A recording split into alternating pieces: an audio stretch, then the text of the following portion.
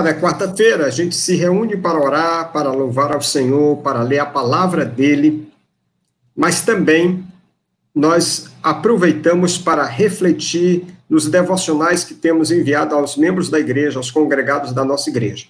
Então, a cada mês a gente tem uma série de devocionais que são oferecidos aos membros da igreja para oração em família, para oração individual e para reflexão da palavra de Deus. Concluímos o mês de junho com lições de Deus na pandemia. E começamos agora o mês de julho. Hoje é o primeiro dia da nossa série de devocionais do mês de julho. E como fazemos, sempre temos uma, uma série de devocionais escritos, às vezes, como mês passado, foi escrito por irmãos, amigos nossos, pastores, companheiros da obra missionária. E no mês de julho, nós estamos com os devocionais escritos pelos membros e congregados da nossa igreja. E pedimos a cada um para compartilhar com os demais irmãos aquilo que Deus está fazendo na sua vida, porque nós estamos numa caminhada nesse mundo. E nessa caminhada nós somos guiados pelo Senhor, Ele é o nosso guia, Ele é o nosso Deus, Ele é o nosso bom pastor. Então Ele está trabalhando com cada um de nós de forma diferente. Mas é bom quando a gente compartilha o que o Senhor está fazendo conosco, como Ele está nos conduzindo, porque isso pode abençoar a vida de outro, pode fortalecer a fé de outro, pode ser a resposta de Deus para algo que a pessoa precisa.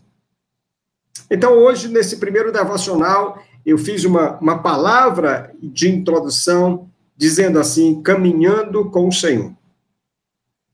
Os cristãos já foram conhecidos como os do caminho. Inclusive, você pode ver isso lá em Atos capítulo 9, quando Saulo vai para Damasco em, em, em perseguição dos cristãos, a expressão é os do caminho.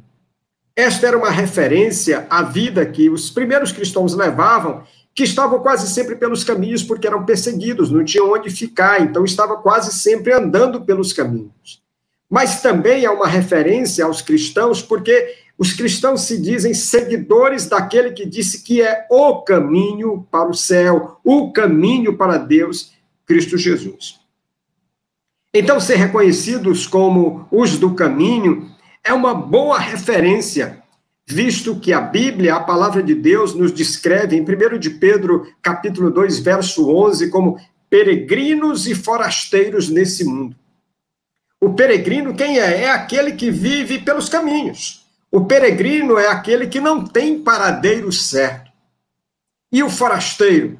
O forasteiro nada mais é do que um estranho, do que alguém que está em um lugar, mas não é daquele lugar. O peregrino é nômade e o forasteiro está fora da sua verdadeira pátria. E nós somos exatamente assim, é assim que a Bíblia nos descreve. Nós estamos fora da nossa verdadeira pátria e nós estamos peregrinando rumo a esta pátria. A minha pátria como cristão não é o Brasil. Por mais que eu ame esta terra, mas eu não quero ficar nessa terra. Não quero ficar no Brasil, porque a minha cidadania é outra. A sua cidadania, se você segue a Cristo Jesus, a sua cidadania é outra. Então entenda que nós estamos aqui passando. Nós não podemos fincar raízes aqui, porque aqui não é o nosso lugar. Eu gosto muito do Salmo 23, e é o salmo mais conhecido da Bíblia. Mas ele foi escrito exatamente nesta visão da caminhada que estamos fazendo nesse mundo. O salmista fala ali do bom pastor. E ele reconhece que esse bom pastor é a nossa companhia enquanto peregrinamos aqui. Olha as expressões que o salmista usa nesse contexto, nesta visão de que estamos passando, caminhando nesse mundo. Ele diz assim: O Senhor é meu pastor.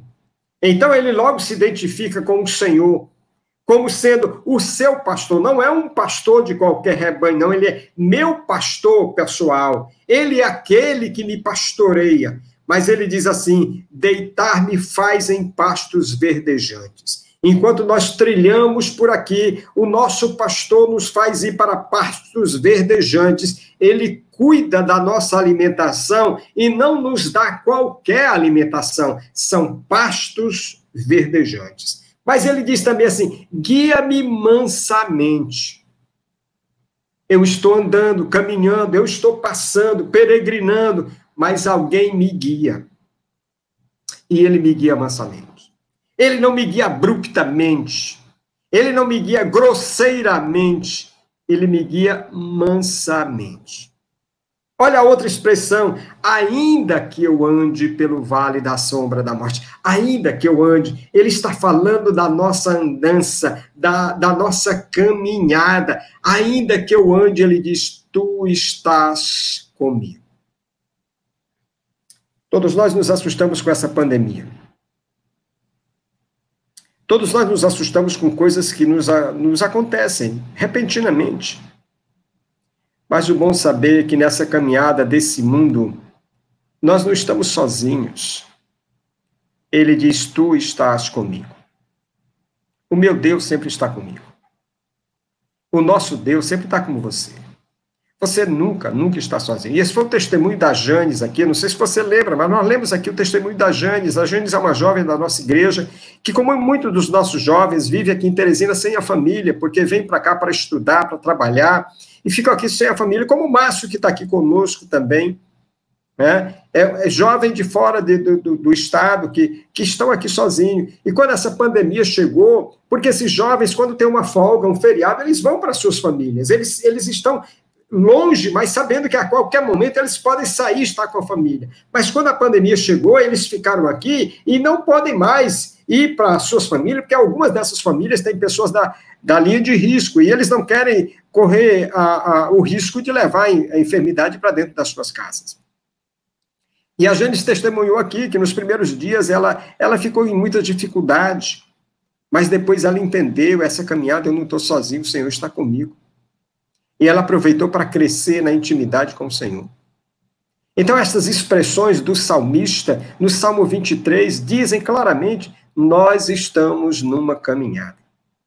Agora, o bom é saber que essa caminhada tem destino, essa caminhada tem fim.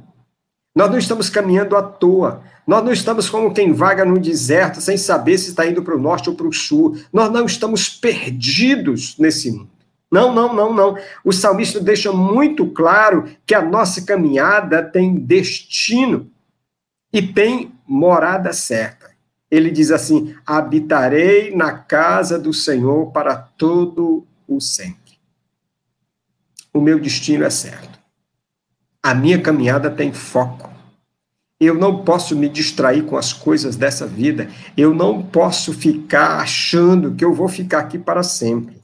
Ah, a Covid está aí, ela pode me pegar e Deus pode me curar, mas se não me curar, a minha morada eu já tenho, eu não estou preocupado com isso. Eu não estou preocupado com isso. Não me aflijo pensando, ah, se eu morrer, o que será? Não, não me aflijo, porque eu sei que se morrer, os meus que ficarem, o Deus que está cuidando da gente aqui vai cuidar deles, porque eles estão com esse mesmo Deus na caminhada. O Deus que cuida de mim, cuida deles, é, é meu companheiro e é companheiro deles nessa caminhada. Eles não ficarão sozinhos se eu morrer. E se eu morrer, eu sei que a minha morada já está lá. Eu, eu vou para lá porque o Senhor me prometeu que estava indo prepará-la para mim, para você, para todos nós que cremos. Eu, eu não tenho nenhum mérito especial, não. É minha, é sua, basta crer nele, basta confiar nele. Não é dada para algumas pessoas e outras não. A palavra de Deus diz que o Senhor não quer que ninguém se perca, mas que todos, todos cheguem ao pleno conhecimento da verdade. Por isso que o principal versículo da palavra diz que Deus amou o mundo. Todos, a mim, a você, a todos nós. Então, assim como o povo de Israel peregrinou pelo deserto, saindo da escravidão no Egito para a Nova Jerusalém, literalmente estamos fazendo exatamente isso. Nós saímos da escravidão do Egito chamado pecado, que nos escravizava, que nos dominava, e estamos nessa caminhada para a nova Jerusalém, para a terra prometida. É isso que diz Hebreus 12, 12, é isso que diz Apocalipse 21, 2. Nós somos os do caminho. nós estamos no caminho e não estamos sozinhos. Temos muitos outros que creem como nós, que estão conosco no caminho. Estamos juntos na caminhada, mas temos um Senhor que nos guia. Então, como companheiros dessa caminhada, nós necessitamos apoiar-nos mutuamente, nós necessitamos estimular-nos à fé, às boas obras, como diz Hebreus 10, 24. Nós necessitamos levar os fardos uns dos outros, orar uns pelos outros. Por quê? Porque nós não queremos chegar no destino final sozinhos. Nós queremos que todos que confessam o nome de Cristo cheguem conosco. Então nós estamos juntos. Por isso nós dividimos as coisas que temos uns com os outros, porque por isso que nós procuramos socorrer uns aos outros nas necessidades, porque tudo que nós temos que Deus nos deu para essa vida não é para ficar nessa vida, é para fortalecer e abençoar os que estão na caminhada. Então, o primeiro devocional, nesse foco, nessa, nessa ideia de compartilhar a fé, de fortalecer o irmão, de, de, de dizer das suas experiências com Deus, o primeiro devocional desse mês foi escrito pela Eliette. Eliette é uma jovem da nossa igreja. Ela e a irmã dela, a Girlene, Chegaram na nossa igreja porque estavam lendo a Bíblia e queriam conhecer uma igreja que pregasse a palavra. Chegaram, ficaram conosco, foram batizadas e elas se dedicam a ganhar almas. Essa semana, hoje é quarta-feira, acho que foi terça-feira, ontem então, ou anteontem, Eliette me mandou uma mensagem alegre agradecendo a Deus. Por quê? Porque Deus tinha trabalhado no coração dela e da Girlene, e elas foram com o irmão Manuel fazer duas visitas, e nessas duas visitas, duas pessoas que não criam em Jesus confessaram a fé em Cristo Jesus. E duas outras que estavam distantes do caminho do Senhor voltaram para o caminho do Senhor, arrependeram-se e reconciliaram-se com o Senhor. É a nossa missão. Então a Eliette escreveu a devocional que nós partilhamos hoje na igreja, mandamos hoje cedo para todo mundo na igreja, todos os membros e congregados da igreja, vários amigos nossos que também é, recebem, querem compartilhar com outras pessoas. Nós disponibiliz, disponibilizamos para todo mundo, se você quiser, a gente manda para você também. A Eliette, o devocional dela foi hoje cedo para todo mundo e ela chamou, o título do devocional dela foi O Chamado. E o texto bíblico é Mateus 9, de 9 a 13, que eu passo a ler para você. Passando por ali, Jesus viu um homem chamado Mateus sentado na coletoria e disse-lhe: Segue-me. Mateus levantou-se e o seguiu. Estando Jesus em casa, foram comer com ele e seus discípulos muitos publicanos e, entre aspas, pecadores. Vendo isso, os fariseus perguntaram aos discípulos dele: por que o mestre de vocês come com publicanos e pecadores? Ouvindo isso, Jesus disse: Não são os que têm saúde que precisam de médico, mas sim os doentes. Vão aprender o que significa isso. Desejo misericórdia e não sacrifício. E Jesus concluiu: Pois eu vim chamar, eu não vim chamar os justos, mas os pecadores ao arrependimento. Olhando esse texto bíblico, a Eliette compartilhou conosco a experiência que ela teve em assistir uma série sobre Jesus. E ela disse que vendo aquela série e a mensagem de Jesus a seus discípulos, ela ficou muito constrangida e começou a chorar muito, pensando nela como seguidora de Cristo, como discípula de Cristo Jesus. Então ela conta que quantas vezes ela saiu do, dos cultos da igreja no domingo à noite e um morador de rua se aproximou dela pedindo alguma coisa e ao invés de ela dar pelo menos uma palavra de conforto, ela sempre se apressava a entrar no carro com medo e sair às pressas. Então, ao assistir essa série sobre Jesus, ela ficou se perguntando, lembrando disso, como Jesus agiria na minha situação. O que ele faria? Então ela diz assim: olha, na nossa vida nada é por acaso. Se o Senhor colocou aquela pessoa a via mim, ele queria que eu fizesse algo. Mas nós pensamos assim: não, não, é muito perigoso. Isso mostra porque o mundo está do jeito que está. Porque, como seguidores de Cristo Jesus, a gente não quer sair da nossa zona de conforto. A gente está mais preocupado com o medo do que com a salvação do outro. E ela diz assim: O Senhor me mostrou que estamos mais preocupados com bens do que o que Ele nos chamou para fazer. Olhamos mais para o eu, sem nos importarmos exatamente com os outros. Então ela disse que quando Deus falou com ela assim, ela começou a visualizar essas várias situações e tanta gente que precisa de ajuda, ela começou a pedir por ela e por nós que nos chamamos discípulos de Jesus e que muitas vezes agimos diferentemente do que ele age. Ela diz: O Senhor não nos chamou para ajudar o outro dando do que sobra, mas dividir o que temos. O Senhor não nos chamou para acumular, para ter casas e bens nessa terra, mas para dividir e ajudar os que mais precisam. Literalmente, ela escreveu assim: O Senhor nos chamou para soltar a corda, dividir o que temos. Jesus pode voltar amanhã. Não precisamos de vários apartamentos, de várias casas, nem do luxo. Já paramos para imaginar a vida de Jesus? Como foi um homem simples, e humilde. E ela concluiu assim: Como queremos segui-lo sem viver como ele viveu? Como é que nós queremos dizer que somos discípulos de Jesus se a gente vive diferente do que ele viveu? A gente precisa entender que todos nós fomos chamados pelo Senhor. Os chamados não são só os pastores, os missionários, todos os que confessam a Cristo são chamados pelo Senhor para transformar esse mundo. Lá em João 15, verso 16, Jesus diz assim: Vós não me escolhestes a mim, mas eu vos escolhi a vós e vos designei para que vades e deis fruto, e o vosso fruto permaneça, a fim de que tudo quanto pedirdes ao Pai em meu nome, ele vos conceda. Veja o que ele está dizendo claramente.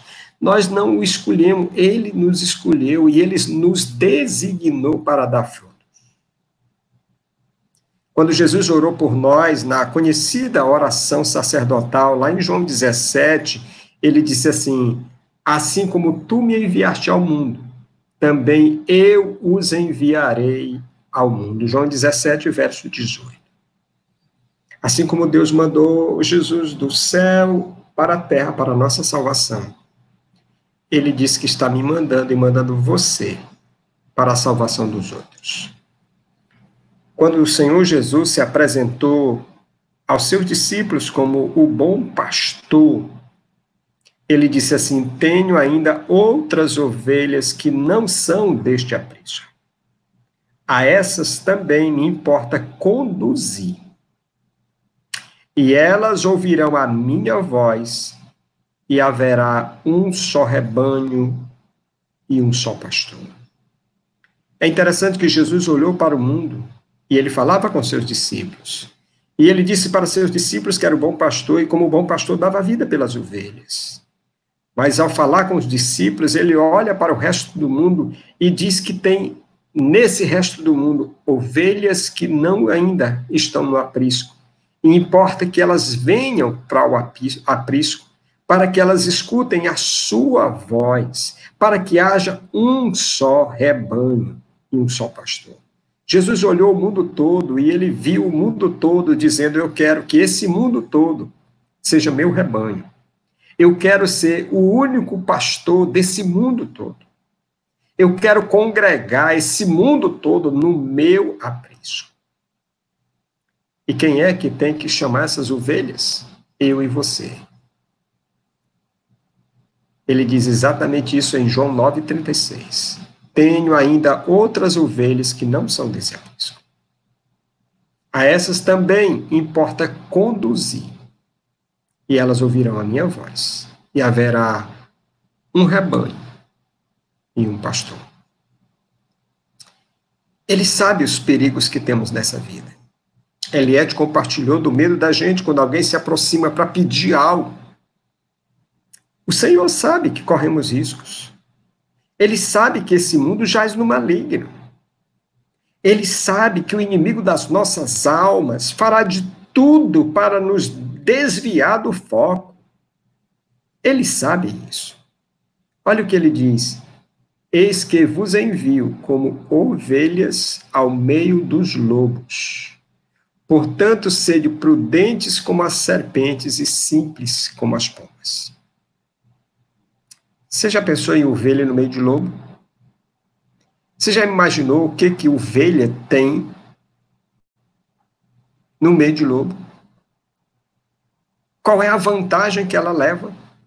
Você imagina que alguma ovelha no meio de lobo vai ficar viva? E Jesus disse que nos mandou assim: ovelhas para o meio dos lobos. Só que, diferentemente das ovelhas comuns, nós temos aquele que nos guarda no meio dos lobos.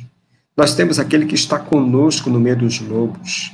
Nós temos aquele que nos protege no meio dos lobos. Nós temos aquele que não deixará que o nosso pé vacile. Nós temos aquele que não deixará que a peste nos atinja. Nós temos aquele que não deixará que a seta noturna nos alcance, que o sol nos moleste. Nós temos aquele que está conosco. E se algo nos acontecer e nos tirar a vida, nós iremos para ele de uma vez. Por isso que o apóstolo Paulo dizia que quando ele olhava o que tinha que fazer no mundo e ele olhava a glória que esperava ele no céu, ele dizia: Eu fico em aperto. Porque com certeza era melhor ir. Mas por causa de vocês, da igreja, eu quero ficar ainda. Então cada um de nós quer ficar porque ainda temos missão a cumprir. Nós lemos a, a devocional semana passada da Eliane lá, lá de Macapá uma serva de Deus que apoia a obra missionária da nossa igreja, ela escreveu isso. Ela pegou a Covid, ela, o filho, a nora, os netos, a família toda. O filho chegou a ser internado. E aí, quando todos escaparam, ela disse assim: Por que, que Deus me, me salvou? Não é porque eu seja melhor do que ninguém. Ela disse: Se Deus me salvou, é porque Ele ainda tem uma missão para mim é porque o que ele me, me mandou fazer ainda não foi cumprido. Eu ainda não cumpria, então ele vai me manter aqui enquanto eu tiver missão a cumprir. Quando a missão estiver cumprida, ele vai me levar. Essa foi a conclusão de João Batista. Quando João mandou seus discípulos até Jesus para saber se Jesus era mesmo o Messias que ele esperava, e Jesus então responde para João, citando o texto de Isaías e mostrando o cumprimento na sua vida, João já sabia, acabou. Missão cumprida, não vou mais sair da prisão, e não saiu mesmo. Cabeça dele foi cortada, degolado. A cabeça foi dada num prato, num presente de aniversário. Mas por quê? Missão cumprida.